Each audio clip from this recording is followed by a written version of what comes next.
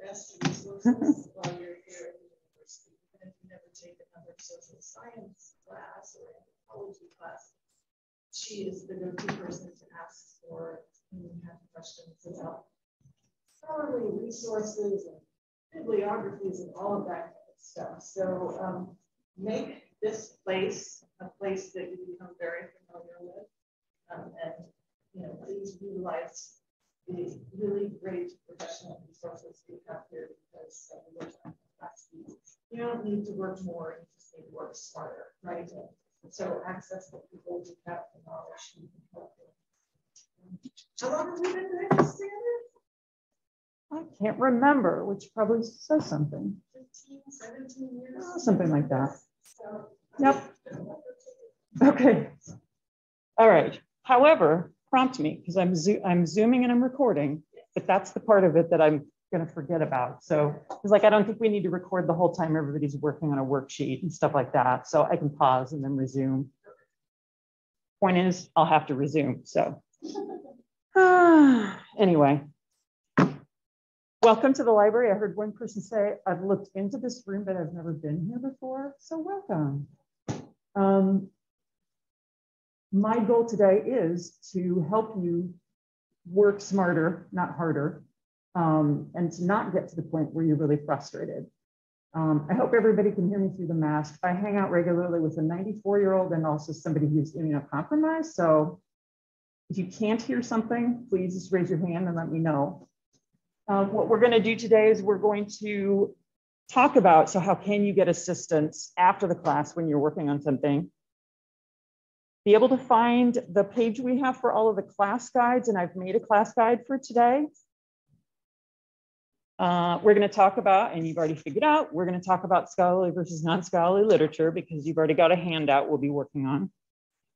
Um, the point is we want you to know scholarly literature when you see it because a lot of your professors are going to ask you to find that and make that distinction about what you can use in your assignments. We're going to get in and we're going to search a database today and talk about some tips how to get better results in the databases.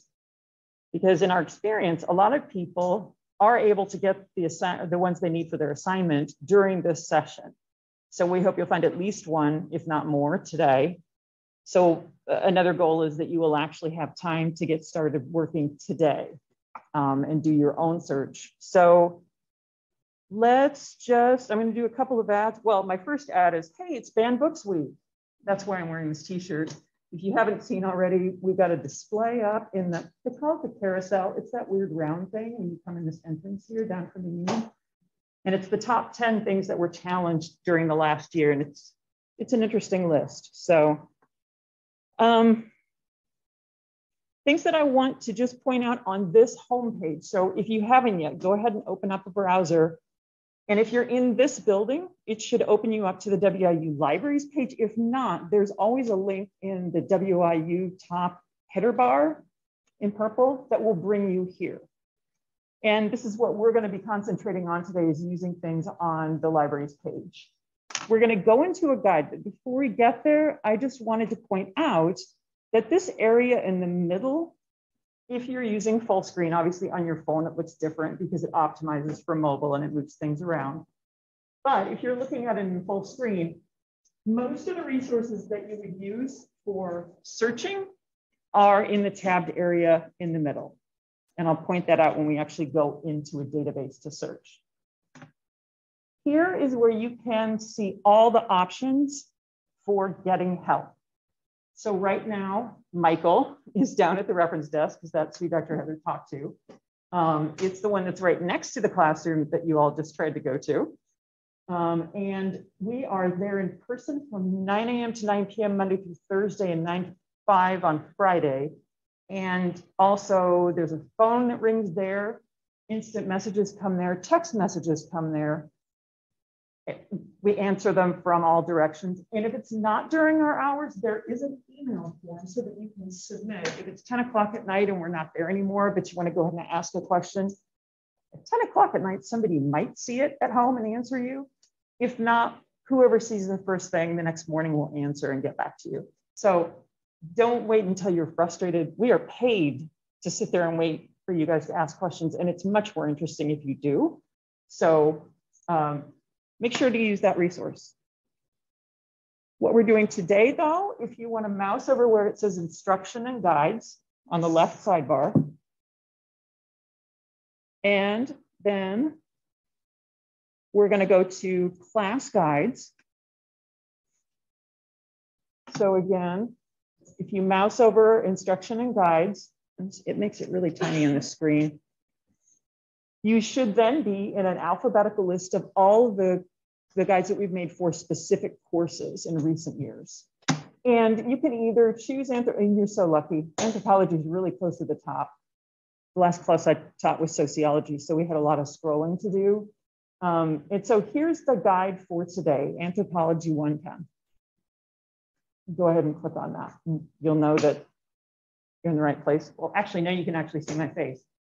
Um, so let's talk a little bit about the assignment. Why are you guys here today? What's the assignment we're working on? Okay, so it's yoga and medicine. Pretty obvious from the picture there. But what is it you need to do for that assignment? Write a paper, okay. And what needs to be included in that paper?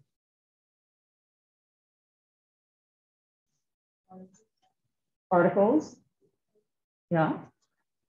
And also, what else are you doing for this paper that's going to be in integrated into that? I asked you about it earlier if you'd already done it. Mm-hmm. Actually doing yoga, right? But what we're doing today then is we are looking for the three articles, you will need to find it and reference at least three articles that relate to what you say in that. And we'll be talking more about how they relate and what makes a good article as we go through the session, but that's why you guys are here today. Um, the first thing really then to talk about is to start talking about this concept of scholarly versus non-scholarly. Um, how many people have already been asked by a professor, you know, I want you to do a paper and X number of sources have to be scholarly or all of them do. So not too many yet. I mean, it's something that you are asked more and more the higher you, get up in the classes and the further you are along in your degree.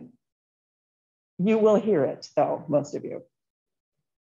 And you're hearing it in this class right now. So what we're going to do is we're going to talk a little bit about different types of resources. So if you want to click on the second tab,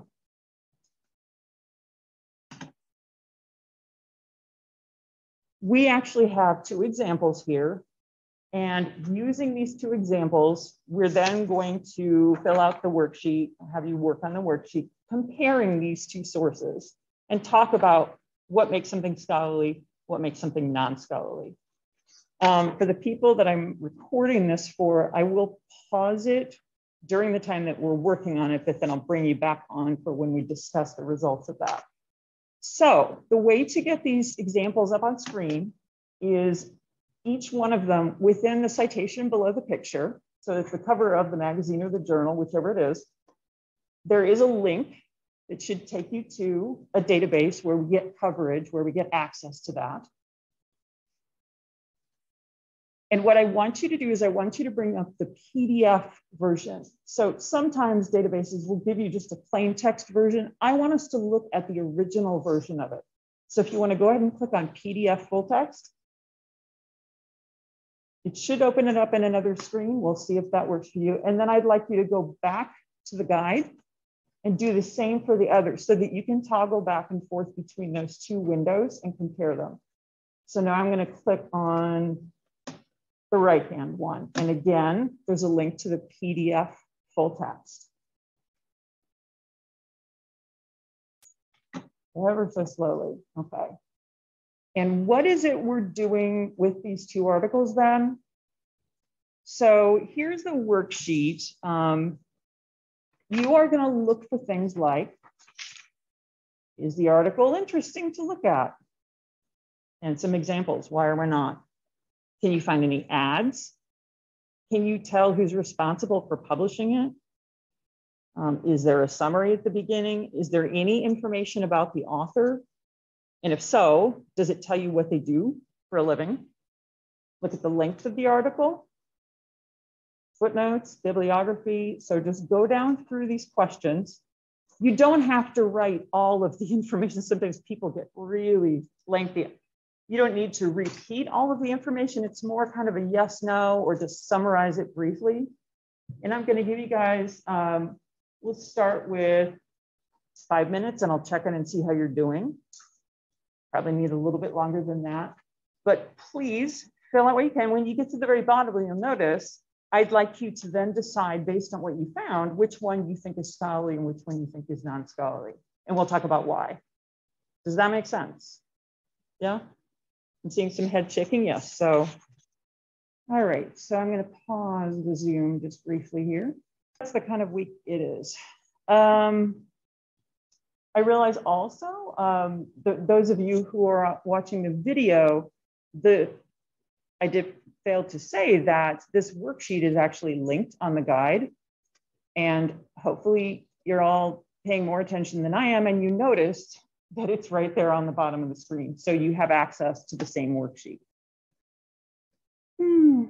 Anyway, so let's talk about what you found out um, in your comparison. So let's just take a poll. So how many people think that the article on the switch over to the guide again. How many people think that the article from Psychology Today, the one that was on the left side, is the scholarly one?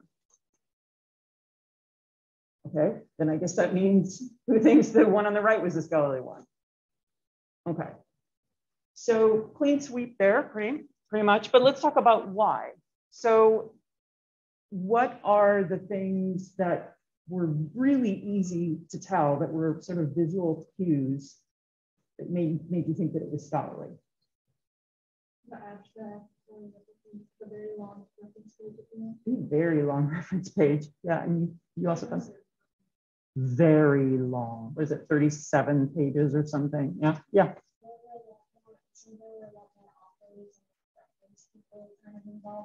Right. Mm-hmm. What about the authors? So what, what could you learn about the authors?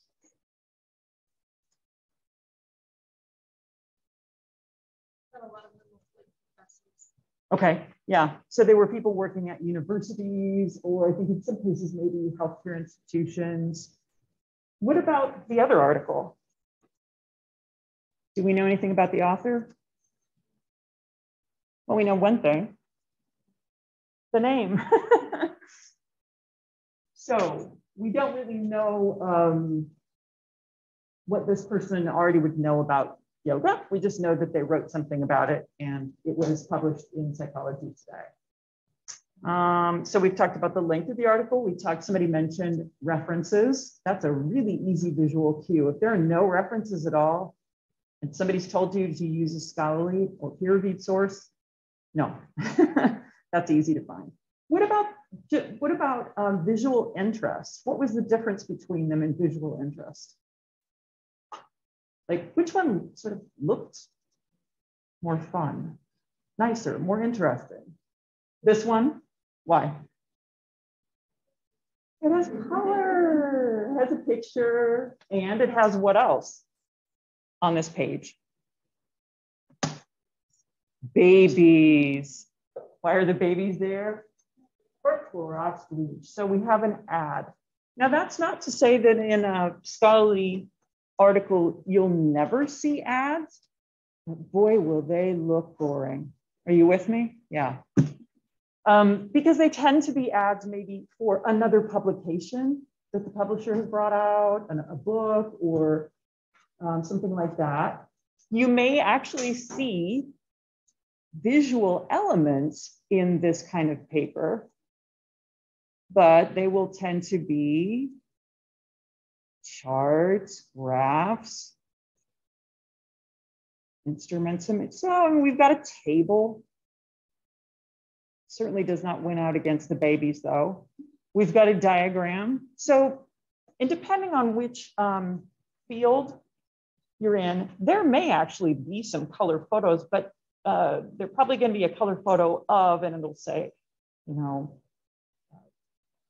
image one or something and it will have a caption and it'll tell you what it has to do. It'll be referred to in the article. It'll be there for the purpose of um, aiding in telling you what's in here.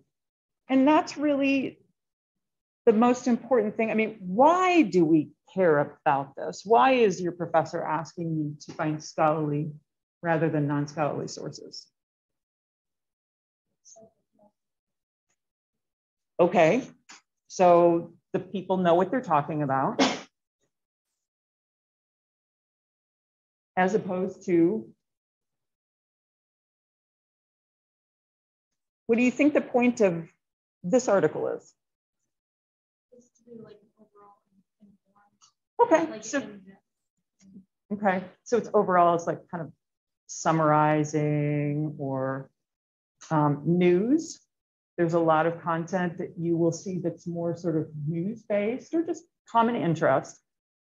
The one thing I want to say is that we're not saying this article is bad. We're actually just saying that it's for a different purpose. So if this one is for maybe even entertaining, you know, sometimes articles are for entertainment purposes, news, whatever. What is the point? Ah, I hate the Zoom bar. Go away. What do you think the point is of this article and others like it?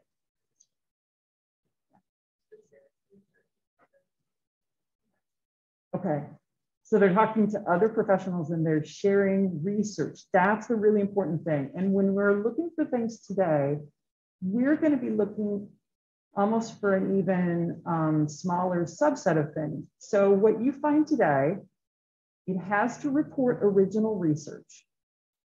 And that's what these people are doing. There's a section where they talk about how they did what they did, how they set the study up. That's, you'll be looking for clues like that. Often it will say something like, well, so here's a data analysis section where they explain how they did that. So the word methods probably will show up. Um, they say interventions. Overall, yep, so there's a big method section. We're going to be looking for that today. Um, and we'll talk in a little bit when we're in the database doing the search and looking at our results. There are a couple of scholarly peer-reviewed type articles that aren't going to work for this assignment. And so we'll talk about how to kind of uh, weed those out as well. But this is the kind of thing you are hoping to find today as opposed to a news item, an entertainment item, something like that. All right. So now that we've talked about the kind of thing um, that you need to find, and you need to find three of them, let's actually go find some. So let me jump back over. You can go ahead and um, close out of the two windows that opened up for, or tabs that opened up. Let's move this briefly so that you're back at the guide. Yeah.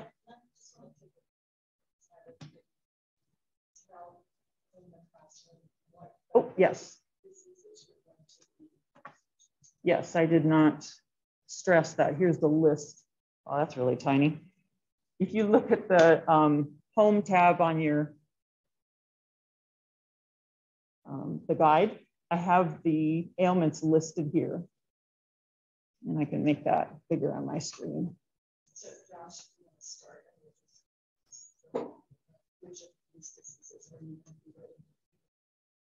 And if you can't read them, they're on the guide on the home tab.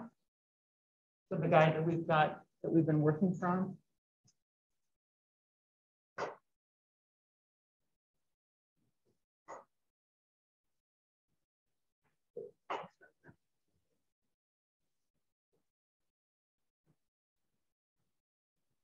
Or we can skip you if you haven't decided. yeah. So this is important because this is part of the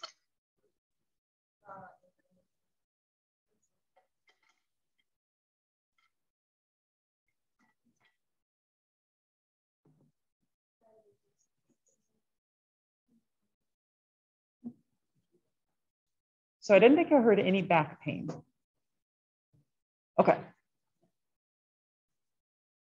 Thank you for reminding me about that because I meant to point that out earlier. Okay, so on the guide then, and I have it massively large. Don't need my picture that big. Um, I've got a couple of database database tabs. So databases, that's just the a library and word we use a lot, uh, meaning the tool that you use to find articles. Um, and we, we are going to use one general database that some of you may already have used before called Academic Search Complete. And I talk a little bit about it on this page here, and there's a link to it from um, that box. There are some more specialized databases. I think in most cases, we haven't had to jump over into those specialized databases, but they're here if we need to, if you don't find enough um, in Academic Search Complete. What I'm gonna do is just show you how to get there. So if you can't remember how to get back to this guide, you don't ever have to come back to this guide. You can get to the same database by starting at WIU Libraries homepage. And again, I was talking about the fact that most of the tools that you use for searching are in the middle in these tabs. There is an articles databases tab. And Academic Search Complete is like the number one starter database that a lot of people use. And in fact, sometimes they find enough in there and don't have to move on to a specialized database. So we have it right there under popular starting points. This is where all of the different databases are listed A through Z. So if your professor says, oh, you need to use criminal justice abstracts, you could drop that menu down and go to the C's and find it and get into that database. So whether you go from here or you click from the general databases tab, I'd like you to go into academic search complete. So again, it's linked from the guide, and I'm going to get in from our articles databases tab.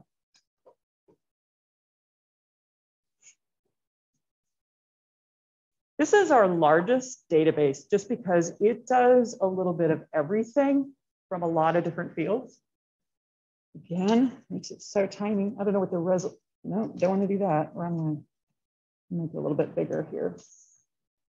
Because of that, um, we need to be, get fairly specific about what we're searching for because there's a lot that we might find. I picked out a different ailment to use as an example in my searches today. Um, and so I'm just going to go ahead and type my word. So I'm going to do yoga and you can follow along with me. And I have a friend with fibromyalgia. Why don't I always pick examples that are harder to spell? What does that say about me? I don't know. I like being humiliated in front of groups of people. I'm not sure. Um, so yoga and fibromyalgia. Before I hit search though, um, I want to ask if anybody knows why this is here. There's a little box that says and on the second row and the third row. Why is that there? Yeah.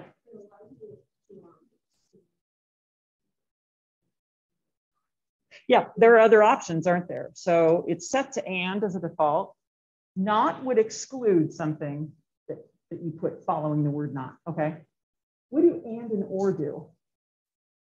Which one do you think, if you put an and between two words, which way would you get, would you get more or would you get fewer things than if you used or? So will yoga and fibromyalgia find more for me? Or would yoga or fibromyalgia find more? And will find more?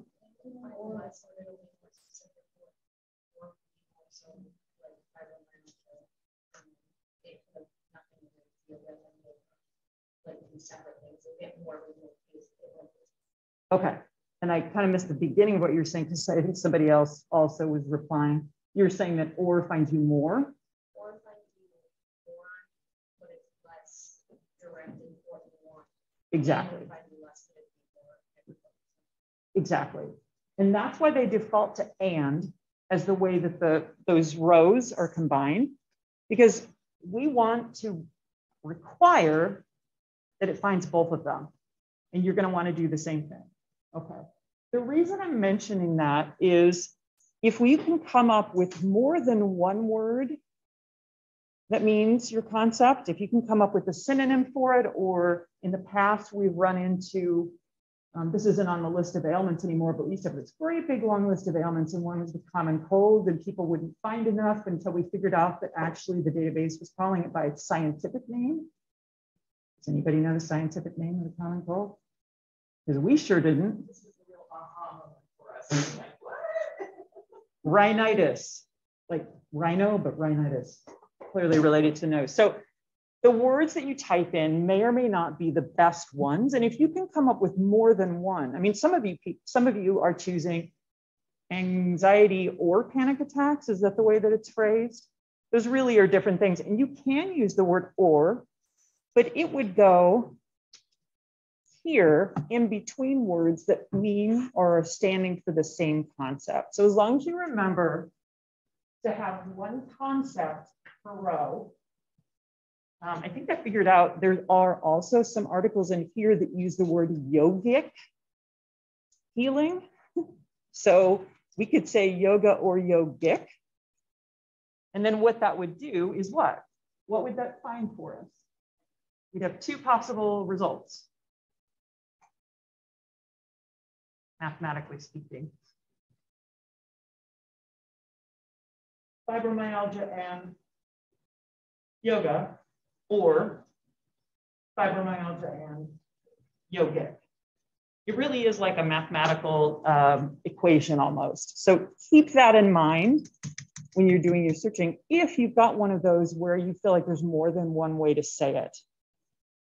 I'm just gonna stick with this for now. Um, and I'm just going to click on search. And we're going to start to talk about how to narrow down from the first search that you try. I want you to really be paying attention to, well, the language of the article. Because uh, clearly, number one, I'm not going to have much luck with it because it's in Turkish. So, and depending on what you're searching on, um, some results pools may have more um, foreign language things. And even if you read the foreign language, the chance that we have access to it is a lot lower. So we'll talk about the language limit. Also, pay attention to the length of the article and actually read the titles and just see how accurate or how close they are to what you're looking for. So for instance, as I scroll down through here, I think, okay, well, they're dealing with pain. Okay, I see the word fibromyalgia. Looking pretty good. But then I hit upon this one and I think, oh, my aching back. That sounds more like a popular thing. And indeed, it's from USA Today magazine. And then this one, oh, I can already tell if it has a color picture as part of it, of, of a person, a portrait, probably not what we want. One of the limits that we have not used yet that we will put on is what this database does for you. And that is it allows you to limit to things that are in peer reviewed journals. So you absolutely want to have that limit on. So I'm going to add two limits at this point. I'm going to put on the peer reviewed limit. It's on the left sidebar. If you scroll down a little bit, and once you click on it, it will automatically we had 42 results. I am now down to 32. And if you want to, there is a language limit on the side. In this case, it turns out I only actually have one that's not in English, and it is that Turkish language one that's at the top. But if I want to, I can say, just show me the English language results. And now I'm down to 31. And now we're going to start getting into a little, even a little bit more nitty gritty and talk about um, another way that we can make it even better.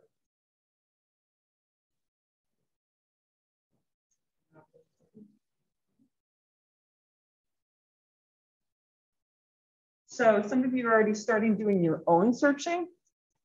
Um, This next part will help you though. So if you want to just pay attention to the screen, because there's one other thing that we can do to the search that's going to make it much more focused. So when I look at results, I put two words into my search and it will highlight them in bold. So whatever you type in for your search, it's going to highlight in bold. And if you pay attention to the results list, number one, I think, well, it doesn't necessarily sound like, I mean, fibromyalgia shows up in the subjects that it's categorized under, but I don't see yoga listed anywhere as a main focus of the article. Same thing with the second one, fibromyalgia is listed as a subject. Finally, when I get to number three, that title sounds like it's the closest to my topic, right? Yoga therapy and fibromyalgia are right there in the title of the article. And you'll notice they're also both listed as subject headings. So if you can find your words listed as subject headings, that's great. They're going to be much closer to what you want. And there's a way that you can search for that. Right now, we're just looking for the word yoga anywhere. It could be one word at the very end of an article or in a list of references or something like that. Now that I know that those are official terms that are showing up as subjects, I can force it to only show me the articles where the, the main focuses include yoga and fibromyalgia. So I'm going to make that change. So for those of you who have already started your own search, you can do this as soon as you have seen your term listed as a subject and you know it's an official term because they set all this up ahead of time. So from 31, now I'm down to 15 and every single one of them should have both of my concepts as the main focus. And if you can do the same, they'll be much closer to what you're, what you're looking for. But wait, there's more. so the final thing that we want to talk about is just a couple of other types of articles that people run into when they do this assignment. And they are peer reviewed and they are scholarly, but they're not the kind of article that Dr. Heather's wanting you to find. So our sample article that you guys looked at, those people actually set up a study they had a methodology. Uh, they actually did, I can't remember if that was an experiment or if they did whatever. They did their own research on a sample or a group of subjects and reported it back. That's what we're looking for today. That's what you need to find in your articles. Some of these aren't doing that, and some of them are sort of in between, and I can't answer whether or not they will be acceptable. Dr. Heather will have to sort of make a ruling on it. So number one is an example. This is a case report on one person. I'm not sure whether or not that would be acceptable to you. And no, the answer is no. Okay.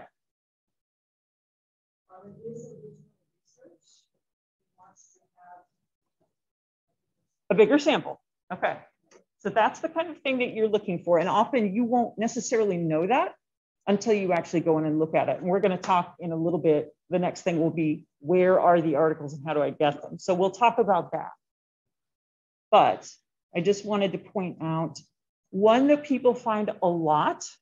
And I notice in my particular pool, thank goodness you guys aren't having to do fibromyalgia because most of them are this type of article. If you see one that says it is a selective review or a systematic review or a review article, what those people did is they actually looked at all the other things people have done as original research and they summarize them, they review them. So in a sense, their sample is other people's papers they wrote. What you guys need to find is something where the sample is people who actually got treatment. So again, a lot of times you will see the word review in the title up here. This one's pretty easy to find.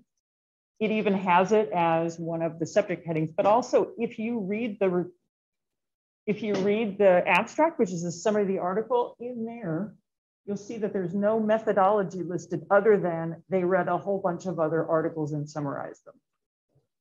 So in anthropological terms, this is the difference between ethnography, Yeah. right? Conducting your own research and ethnology, which is the look at research that was done on a particular project or topic, and then bringing it together and review. So Yeah. they're both scholarly, but what we want for this particular project is original research. Yeah.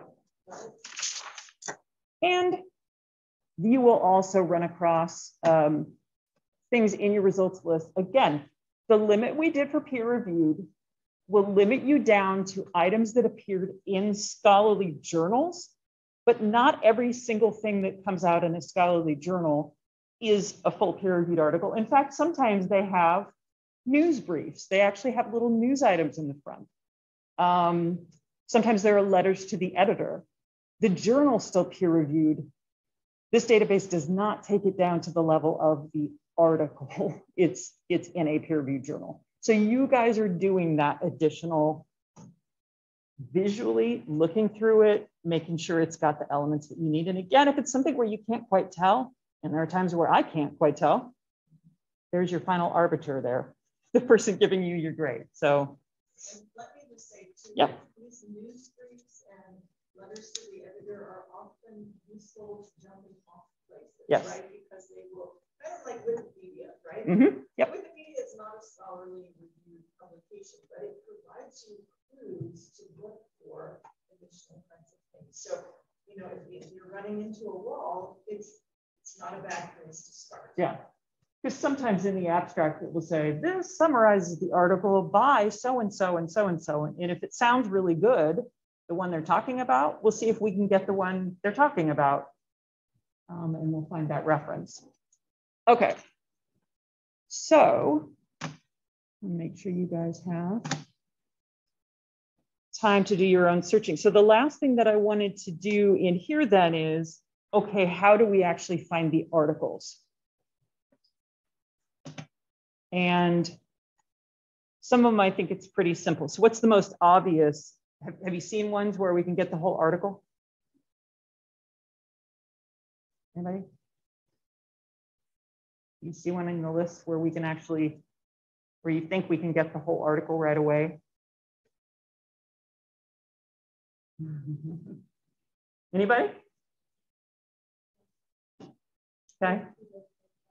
Yay, some of them say PDF full text right here in this list. I would recommend that you actually, though, click on the title and read the summary, because even then from that page, you also have a link to the full text on the side. But to me, it's easier to read the abstract and determine whether or not it's going to be helpful first. But yeah, so quite a few of them, and depending on what your search is, you'll have more or fewer in your results list, but some will have the PDF full text. What do you do if you don't see that link? Um, I picked out some examples because I wanted to sort of show you how else it might work. If you don't see that and you're interested in it now, I couldn't use this. I'm just using this as an example for how to find the full text. But this one obviously is a systematic review, so I would not actually use this for this assignment.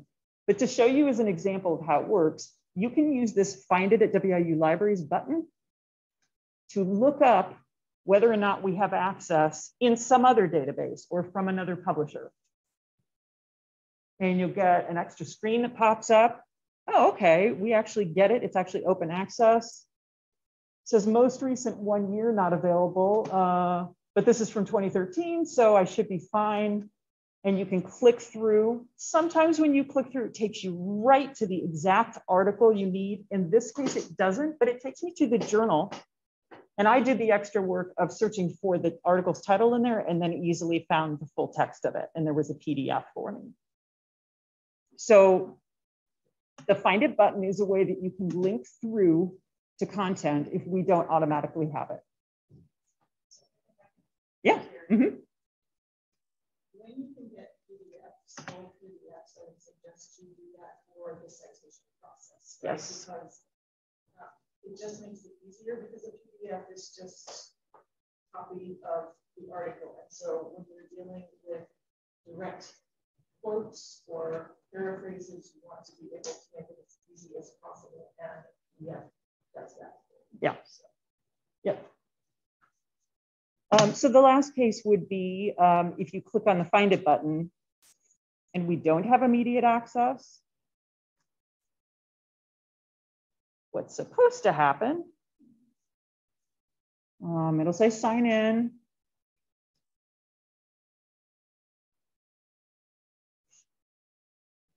Fingers crossed.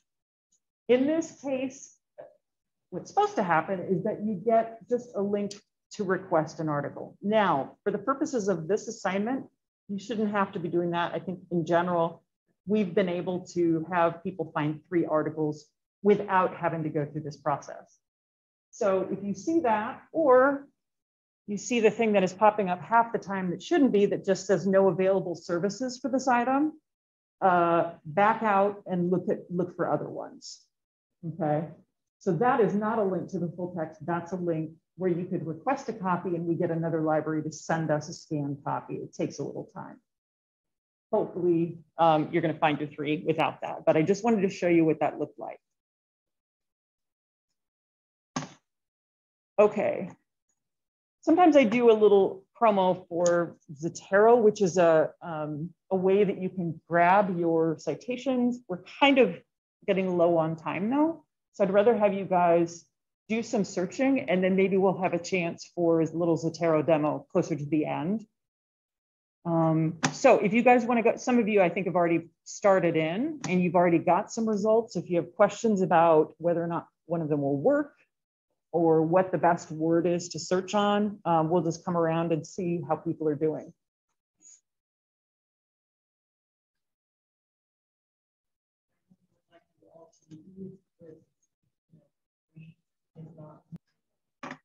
For those of you on the recording, I just showed everybody how to do um, citation information within the database. So if you're in the record for an article you're going to use, there's a cite function on the right hand side, and there's a scrolling bar with options. Chicago author date is the closest to what you are needing to use. So you can just copy that, but make sure you edit it and get the font to match and everything.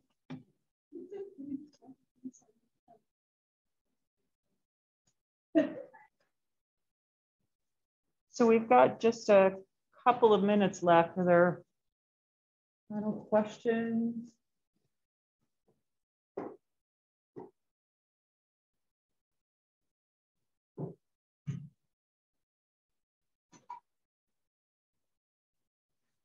Okay, so Thursday, comfortable clothes. Meeting in the rec center, Dr. Gloria Lynn Garman. Dr. Is going to lead uh, about a 60 minute um, yoga practice for us. Um, please print off those three questions before and after yoga. Bring a pen and paper, bring, bring that with you. Um, the more detail you will record as to how you're feeling physically, emotionally, and spiritually, maybe, right? The more you um, you record that, before and after, the easier it's going to be to write the paper.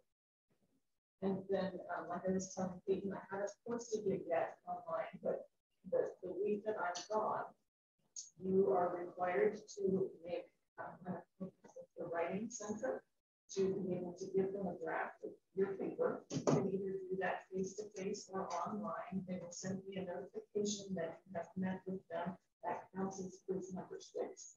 And then um, then you just finish the paper up that day. Okay.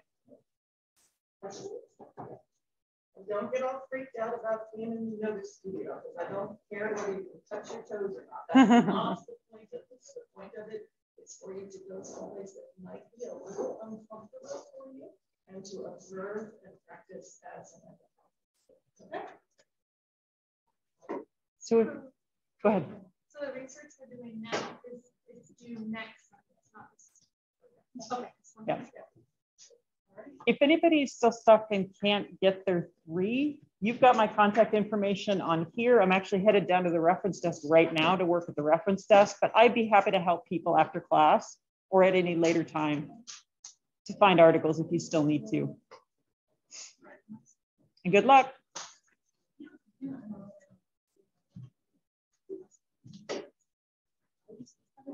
Yep.